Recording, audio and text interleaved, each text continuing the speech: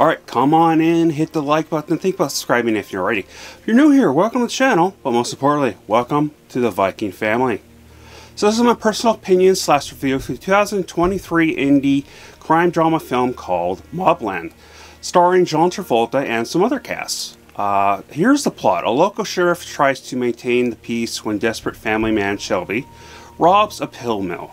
The uh, supposedly easy score takes a violent turn, altering the New Orleans Mafia's revenge-seeking enforcer.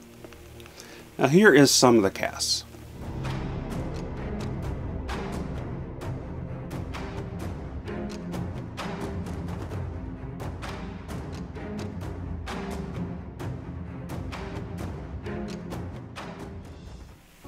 Well, you can definitely tell this was a small budget independent film by the uh, camera close-ups, the way certain stuff was up, applied instead of shown in the, to save on money, and many other things. And that's this is not necessarily always a bad thing.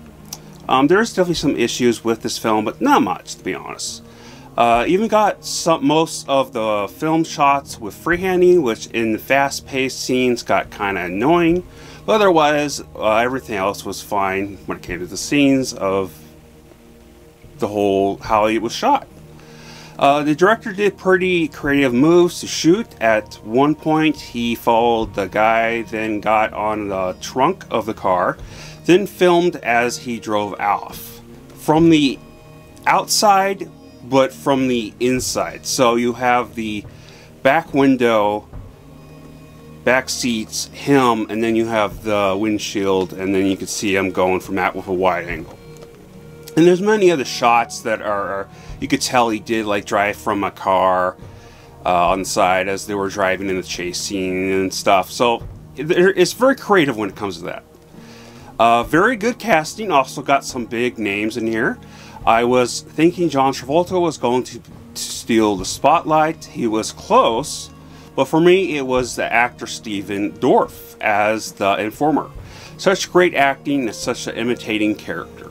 Uh, I recognize the actor that played Trey, and he's really the only one I thought that did a bad job. Uh, I don't know his name, but I recognize him. He's usually like a side character that kills off or something, so he's not like a big type of uh, actor type of thing. So um, it does not really surprise me when it comes to his acting skills. So it was kind of a little bit it in at uh, most of the time. Um, but the story was not bad at all. I knew how a certain part was going to end from when I was starting it, uh, but still didn't like it. Uh, but they definitely made up for it pretty fast, even though the way the ending ended and was shot was a bit odd. Um, but yeah, that's not really a bad thing. It was a little bit odd of how they shot it. It was a little too artsy for my taste, but I got the uh, concept of what it was, what they were applying. But here's my rating. come back my final thoughts.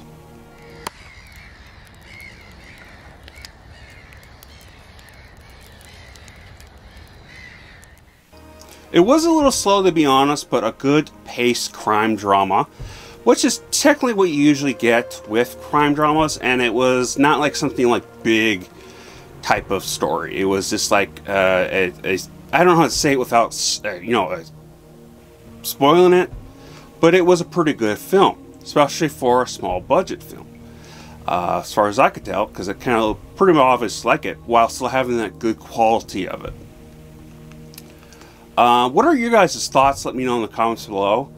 Uh, I am planning on doing a anime live action that I originally said I wasn't gonna do until I figure out a rating or, or I mean a rev the reviews if it was good enough.